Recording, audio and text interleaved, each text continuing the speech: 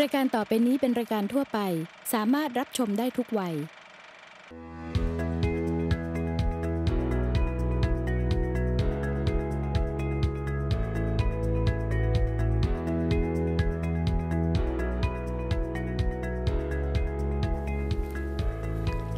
วัสดีค่ะคุณผู้ชมคะ นี่คือรายการภูมิสมดุลค่ะ รายการที่อยากจะเชิญชวนคุณผู้ชมนะคะ ให้หันมาดูแลสุขภาพ ด้วยการสร้างภูมิคุ้มกันที่สมดุล ซึ่งถือว่าเป็นมิติใหม่ของการดูแลสุขภาพในปัจจุบันนะคะวันนี้เราจะนำเสนอเรื่องราวเกี่ยวกับงานวิจัยของนักวิทยาศาสตร์ไทยค่ะ ที่สามารถที่จะช่วยดูแลและยกระดับคุณภาพชีวิตที่มาที่ไปจะเป็นอย่างไรนะคะ เดี๋ยวติดตามชมกันได้ในช่วงหน้าค่ะ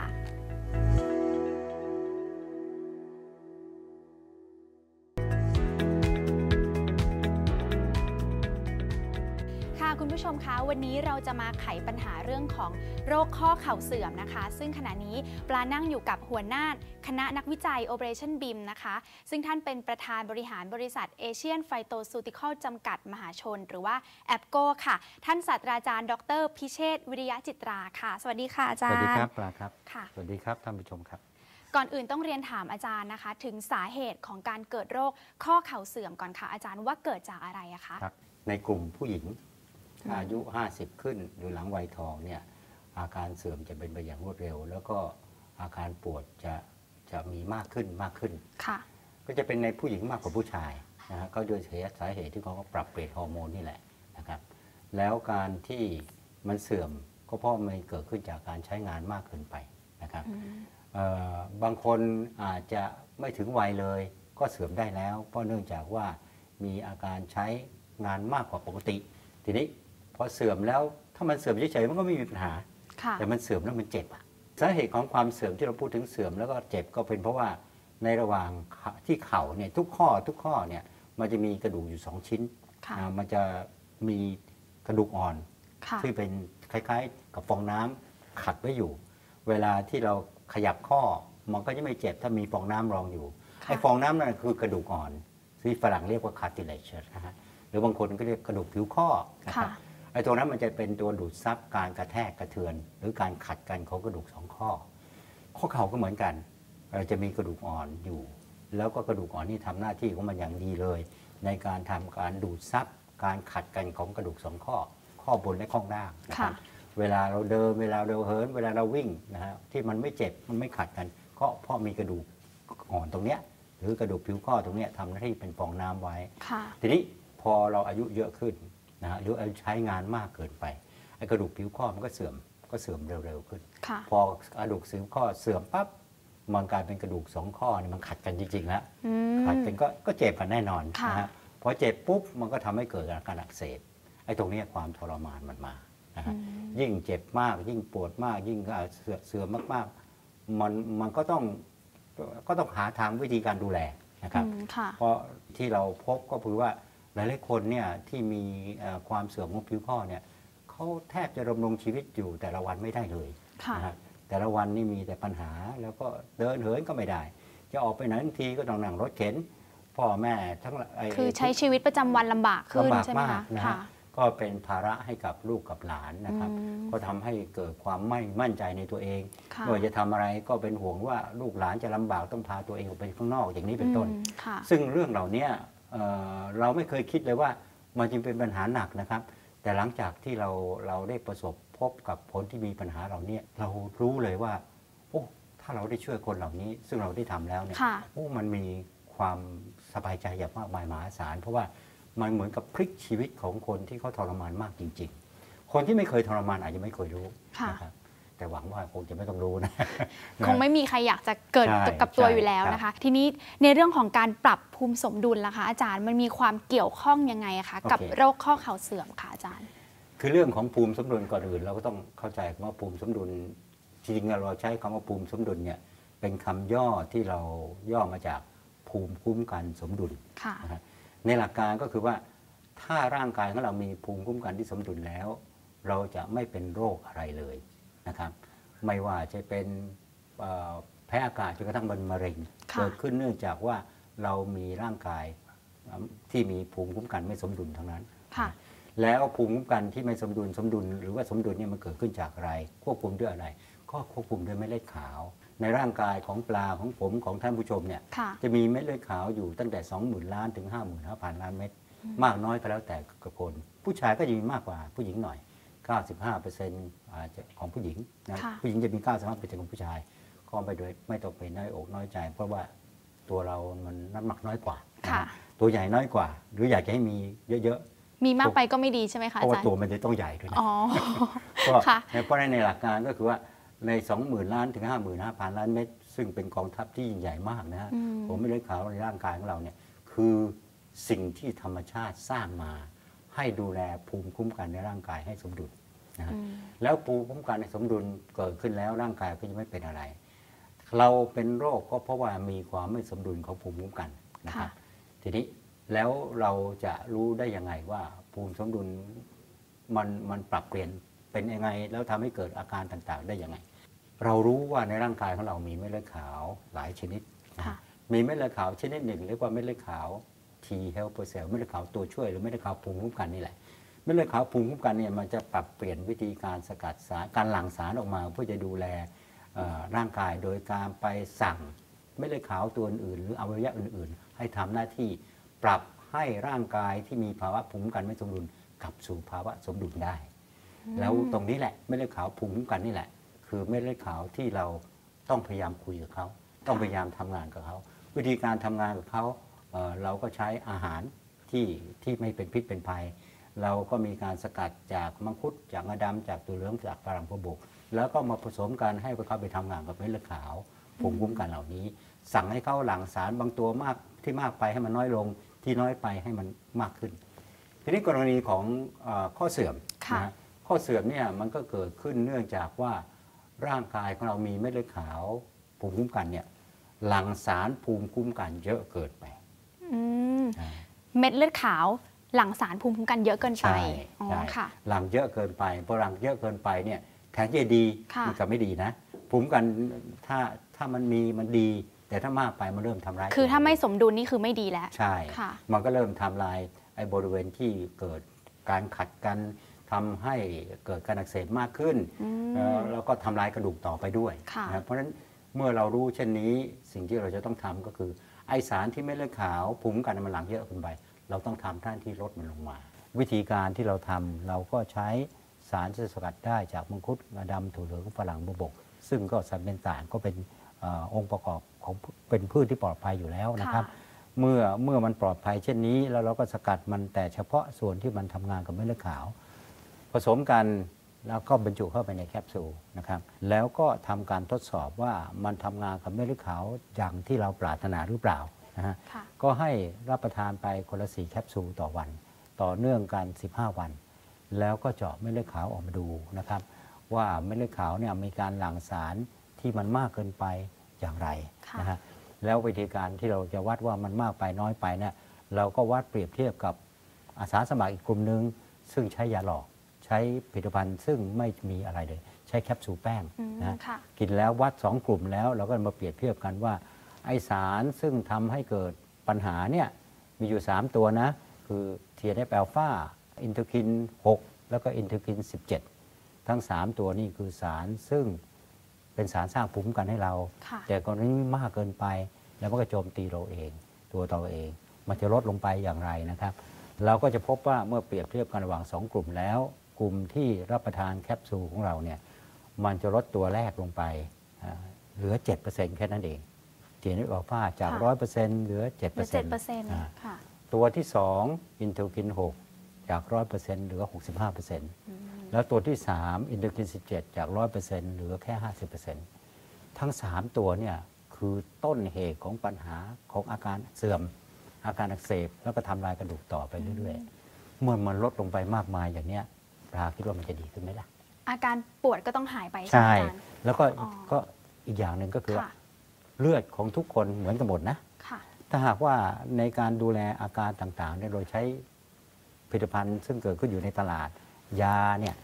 บางทีมันอาจจะตอบรับไม่เหมือนกัน เพราะบางคนทานรับประทานอาหารแตกต่างกัน อยู่ในสิ่งแวดล้อมที่แตกต่างกัน การตอบรับอาจจะไม่เหมือนกัน ค่ะ แต่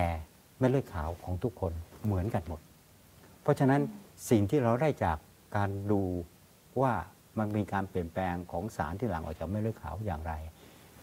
เฉลี่ยแล้วออกมามันต้องใช้ได้กับทุกคนหมดอืมไม่ว่าเขาอยู่ในสภาพแวดล้อมอย่างมัไรนเหมืก็อนไปตามปรับที่ต้นเหตุจริงๆใช่เลยใช่ไหมะใช่ครับอืมแล้วก็วิธีการที่เราไปปรับที่ต้นเหตุ เราไปทำงานเป็นเลือดขาวนะค่ะธรรมชาติของเราแท้ๆนะ แล้วเราก็ใช้อาหารนะ ซึ่งไม่ไม่ซึ่งปลอดภัยได้ผลข้างเคียงอยู่แล้วนะ ใช้ไปแล้วเป็นเด็กทำให้เม็ดเลือดขาวมันกลับสู่ภาพปกติอันตรายไหม ไม่มีทางที่เป็นไม่มีอันตรายเลยค่ะผลข้างเคียงมีไหมไม่มีเลยนะอืฮะมเพราะว่ามันเกิดขึ้นจากการที่เราอะไรมังคุดฝรั่งงาดำถั่วเหลืองถั่วเหลืองฝรั่งโบวบกเพราะธรรมปลอดชาติภัยหมดเลยใช่ไหมธรรมคะชาติหมดร้อยเปอร์เซ็นต์ค่ะแต่อย่างไรก็ตาม ถึงแม้ว่าเราบอกว่าเรานำมาจากสารที่เป็นธรรมชาติกินแล้ว แต่เมื่อมาผสมกันในสัดส่วนที่เราทำเนี่ยแล้วมันยังเป็นอันตรายได้ไหมอ้าวคนก็จะถามละอืมเราก็ทดสอบอีกค่ะนะครับทดสอบต่อไปในกลุ่มระยะยาวเลยนะครับ 4คน5คน10คน10กว่าคน ระยะยาวบางบางทีก็เป็นเป็นเดือนเป็นปีค่ะก็ปรากฏว่าไม่มีปัญหาใดๆเลยนะครับ เพราะฉะนั้นก็มีความมั่นใจว่าอืมสิ่งที่เราทำขึ้นมาจากอาหารเนี่ยถึงแม้ว่ามันผสมกันเพื่อจะเสริมประสิทธิภาพกันมากมายเนี่ยนะฮะมันก็ไม่ก่อให้เกิดปัญหาใดๆมีการดูต่อไปว่าเอาถ้ามันไม่มีอาการผิดปกติร่างกาย แล้วเม็ดเลือดขาวเนี่ยมันจะเปลี่ยนรูปเป็นร่างไปไหม หรือไม่ได้แดงจะเปลี่ยนรูปเป็นร่างไปไหมค่ะอย่างเช่นเคยกลมๆมันเคยบิดเบี้ยวไปไหมอืมเราก็ดูไอ้สันฐานของเม็ดเลือดเหล่าเม็ดเลือดเหล่านี้นะก็พบว่าไม่มีอะไรเลย เพราะฉะนั้นสรุปได้เลยครับ 99.99%ปลอดภัยไร้ไร้ผลข้างเคียงแน่นอนโอ้ทีนี้สิ่งที่เกิดขึ้นก็คือว่าเอ่อบางคนที่เป็นหนักๆอาจจะต้องไปผ่าเข่าแล้วอืมเอ๊ะทำไมใช้ไปใช้ไปเขาไม่ต้องผ่าเข่าอีกล่ะอืม เป็นไปได้ยังไงหรือค่ะแล้วเมื่อเขาเดิมทีมันกระดูกหมอนสองชิ้นมันขัดกันอยู่เนี่ยค่ะตอนนี้มันหายอักเสบแล้วมันไม่ขัดกันอีกเหรือนะฮะอืมมันก็ต้องต้องขัดกันอีกถูกไหมค่ะแต่สิ่งที่เราพบก็พบว่าสารที่เราใส่เข้าไปในแคปซูลเนี่ยคือสารจากสกัดจากมังคุดจากงาดำจากถั่วเหลืองจากฝรั่งจากบัวบกเนี่ยต่างก็มีคุณสมบัติในการสร้างกระดูกอ่อน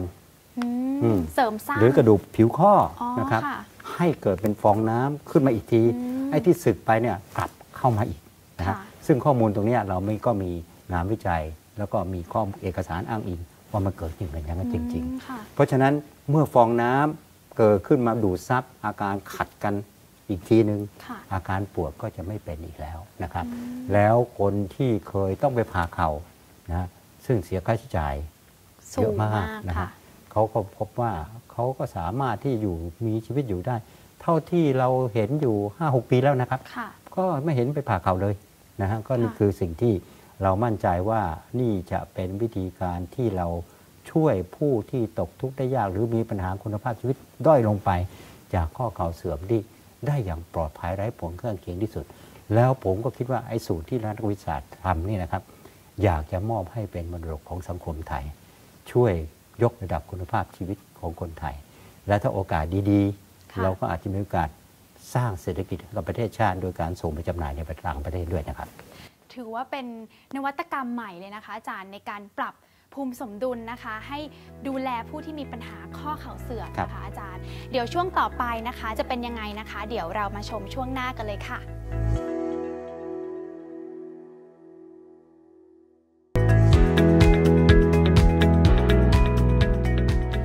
คุณผู้ชมคะ เรามาดูกันที่เรื่องของโรคตาเสื่อมนะคะ ซึ่งปัจจุบันเนี่ยเป็นโรคที่เป็นกันเยอะนะคะ แล้วก็มีโอกาสที่จะเป็นในกลุ่มที่อายุน้อยลงมากขึ้นทุกวันทุกวันนะคะ เนื่องจากมีการใช้สมาร์ทโฟนนะคะ อย่างเช่น โทรศัพท์มือถือ หรือว่าการจ้องจอคอมพิวเตอร์นานๆนะคะ ก็มีโอกาสที่จะเกิดจอประสาทตาเสื่อมก่อนวัยอันควรได้นะคะ วันนี้นะคะปลายอยู่กับท่านศาสตราจารย์ ดรพิเชษต้องเรียนถามอาจารย์ถึงโรค ตาเสื่อมค่ะ โดยธรรมชาติค่ะ ปัจจุบันนี่คือเกิดจากอะไรคะอาจารย์ครับ พอพูดคำว่าเสื่อม ก็คงจะคิดถึงว่าการใช้งานเยอะเกินไปค่ะ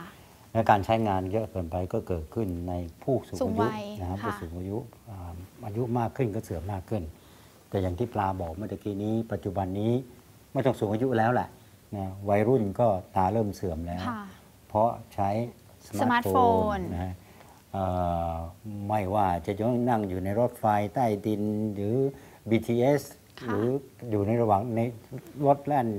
กลางถนนก็ใช้แต่ iPhone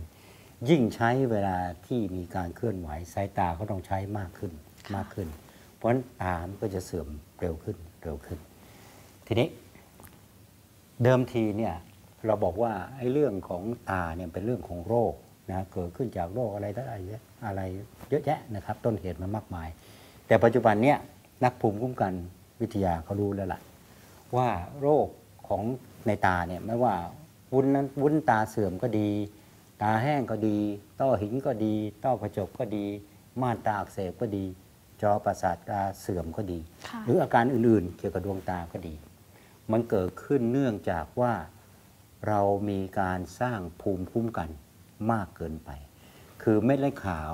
มีการหลั่งสารที่ทำให้เกิดที่เกิดก่อให้เกิดการอักเสบค่ะหรือที่เรียกว่า pro inflammatory cytokine ภาษาฝรั่งอะนะฮะค่ะเมื่อมันมากเกินไป มันทำให้เกิดการอักเสบทำให้เกิดความเสื่อมนะครับ เมื่อเรารู้เช่นนี้ ถ้าเราสามารถทำให้กลับสู่ภาวะปกติได้ทำให้เม็ดเลือดขาวหลั่งสารปกติได้ค่ะอาการเหล่านี้ก็จะตอบรับ ก็จะสามารถที่จะจัดการได้อย่างสะดวกสบายง่าย ๆ เลยใช่ไหมค่ะนะครับ ซึ่งเราสามารถที่จะปรับสูตร แล้วไปไปลดอาการเสื่อมนั้น โดยการไปลดการหลั่งสารที่ออกมาจากเม็ดเลือดขาวภูมิคุ้มกันค่ะมากเกินไปให้กลับสู่สภาวะปกติ สารที่หลั่งมากเกินไปโดยทั่วๆไปนะครับ มันก็จะมีสาร inter interleukin 1 beta ค่ะ interleukin 6 interleukin 17ค่ะ TNF อัลฟาแล้วก็ interferon gamma เมื่อเรารู้ว่าไอสารเหล่านี้คือต้นเหตุ ถ้าเราต้องการแก้ไขปัญหาเสื่อมของตา เราต้องลดสารเหล่านี้ลงมานะครับ เราก็พบว่าสูตรหนึ่งของเรานะครับอ่าเราสามารถทำให้สารเหล่านี้ซึ่งเป็นสารที่ก่อให้การอักเสบลดลงชัดเจนนะครับค่ะเรามีการทดสอบนะในอาสาสมัคร ที่ใช้ผลิตภัณฑ์นี้เอ่อเวลาเวลา 15 วันนะครับค่ะแล้วก็เปรียบเทียบกับอาสาสมัครที่ใช้แคปซูลแป้ง ซึ่งจะไม่มีฤทธิ์มีเดชอะไรเลยนะครับ แล้วก็วัดออกมาในวันที่ 15นะฮะเราก็จะพบว่าไอสารที่ทำให้เกิดปัญหาการเสื่อมนะฮะมันจะลดลงตามที่ลูกศรชี้ไอ้ลูกศรที่ชี้ก็ชี้ในผลที่ได้จากการวัดอาสาสมัคร ที่ใช้ผลิตภัณฑ์ของเราค่ะ นะฮะส่วนไอตัวสีชมพูอ่อนก็เป็นเรื่องของผลิตภัณฑ์แป้ง จะเห็นว่าผู้ใช้ผลิตภัณฑ์จากการวิจัยของเรา มีสารที่มีปัญหาเนี่ยลดลงทุกลดลง ทุกลงเกือบหมดเกือบเกือบทุกตัวเลยนะครับค่ะที่ที่มาก ๆ ก็คือตัว TNF อ l p h a เนี่ยลดลงเหลือถึง 7%แล้วตัวเนี้คือปัญหาตัวสารตัวเนี้ยถ้ามันมากไปคือตัวที่เป็นปัญหาหนักหนักมากๆ คนที่มีปัญหาจะมี TNF อ l p h a นี่สูงมากด้วยเหตุนี้ครับ เราก็จะสามารถเพิ่มคุณภาพชีวิตของผู้ที่มีปัญหาดวงตา แล้วก็ถนอมดวงตาได้ด้วย เรายังมีสิ่งที่เราทำมาจากน้ำมังคุดนะฮะค่ะเราจะมีการลดสารนะที่มีปัญหาตามที่ลูกศรชี้ ลงไปชัดเจนมาก เปรียบเทียบกับคนที่กินแคปซูลกินเอ่อน้ำน้ำนี่ก็ใช้แทนด้วยสีสีเงินเนี่ยนะครับค่ะ จะเห็นว่าสารมีปัญหาเนี่ยมันลดลงไป เพราะในการถนอมดวงตาเนี่ยก็เกิดขึ้นแน่นอนนะครับเอ่อขณะเดียวกัน ก็จะมีการเพิ่มอีกตัวหนึ่งขึ้นมาไอ้ตัวสุดท้ายนะฮะอืมตัวที่เป็นอินเทอร์คิน 18 อันนี้เพิ่มใช่ไหมคะเพิ่มอาจารย์ จากการดื่มน้ำมังคุดของเราวันที่ 15 มันทำได้อย่างนี้ค่ะนะครับเพราะฉะนั้นประการแรกทีเดียว อาการเสื่อมของดวงตามันจะหายไป อาการเสื่อมที่เกิดขึ้นต้อกระจกต้อหินวุ้นตาเสื่อมอะไรเนี่ยมันจะดีขึ้นจากการดื่มน้ำมังคุดแน่นอนค่ะแล้วแต่ไอ้ตัว interleukin 18 ที่มันเพิ่มขึ้นมาเนี่ยเป็นเรื่องที่สำคัญมาก ๆ ทีเดียวนะครับคือเดิมทีเนี่ยเวลาจอประสาทตาเสื่อม เราต้องใช้การฉีดสารแอนตี้ TNF เข้าไปในในลูกตาอืมนะครับค่ะเพื่อไปหยุดไม่ให้มีเลือดไหลออกจากจอประสาทตาเพ ราะว่าถ้าจอประสาทตาเสื่อม เป็นจอประสาทตาเสื่อมชนิดเปียก ค่ะ หากมีเลือดไหลออกมาแล้ว เราจะบอด อืมตาจะบอดค่ะ นะวิธีการระงับไม่ให้มันเกิดขึ้นก็คือใช้สารแอนตี้ TNF เมื่อกี้นี่เราบอกว่าลดเหลือ 7%เนี่ยนะค่ะ ก็แต่เขาจะใช้สารซึ่งเขาพัฒนาขึ้นมาแล้วก็ฉีดเข้าฉีดดวงเข้าไปตา ค่ะ เพื่อจะป้องกันไม่ให้เกิดการการตาบอดจากจอประสาทตาเสื่อมชนิดเปียก ซึ่งเขาแต่ละครั้งมันก็ต้องเสียราคาเกือบเกือบแสน นะฮะอืมก็ฉีดไปเดือนหนึ่งอีกเดือนต่อมาหรืออีก 2 เดือนต่อมาก็ไปทำอย่างนี้อีกนะฮะไม่ฉะนั้นแมวตามันก็จะเริ่มมีปัญหาเห็นเห็นไม่ค่อยชัดเจน รูปก็จะบิดเบี้ยวไปเรื่อย ๆ สักวันหนึ่งในเวลาอันสั้นนะฮะตาก็จะบอด ต่อมาเขาก็พบว่ามีการพัฒนา